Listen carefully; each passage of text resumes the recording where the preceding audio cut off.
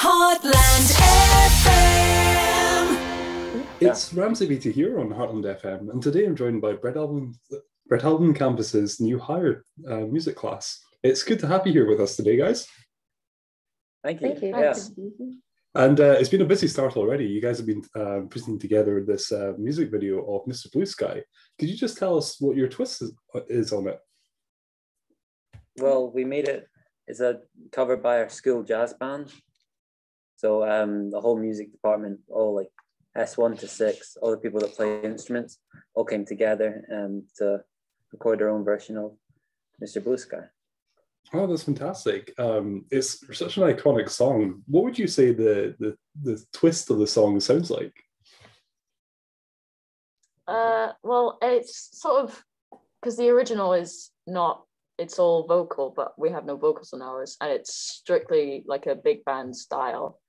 So lots of brass instruments and um, some pretty cool guitars as well. Wow, and jazz is such a open to interpretation genre. Uh, does it slow it down? Does it speed it up? Does it add a bit of a, a, a bit of twist to it at all?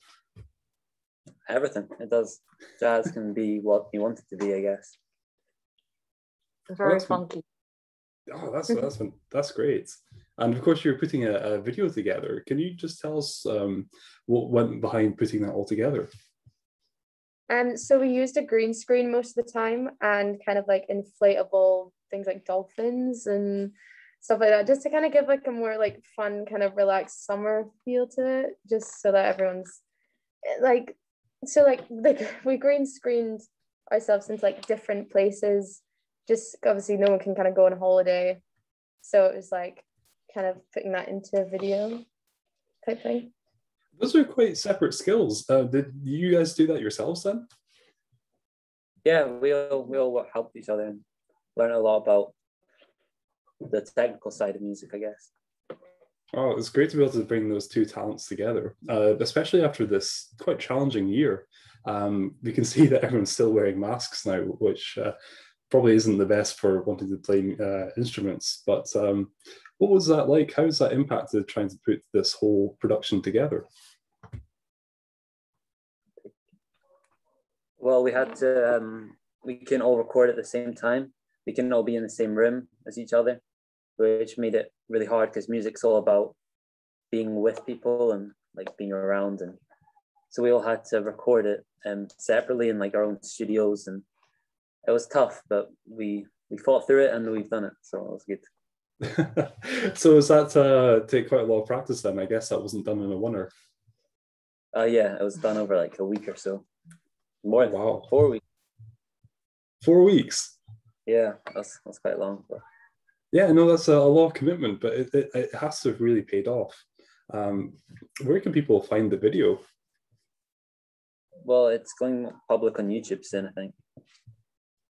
And uh, again, we're talking about the amount of effort and energy that's gone into it. Uh, everyone must be really quite passionate. Um, I suppose for you guys, what is it that really drives you to want to be so musical? Um, well, it's music for um, us, I think, is a way of um, almost, you know, fun and self expression in a way through um, picking songs for um, our exams that, you know, we either connect with or, or just really like. And it's all quite relaxed. Does anyone else want to jump in on that one? Um, yeah, it's a it's a way for you to express yourself in your own way, and it makes you different from everyone else. And when you're playing, you're you're somewhere else. You're not always thinking about school and the stresses that come with it, and all of COVID. You're just thinking about what you're doing right there, playing your instrument. No, especially if you're very, being able to take these uh, really iconic songs and put such an interesting twist on it and give it your own perspective, I'd say.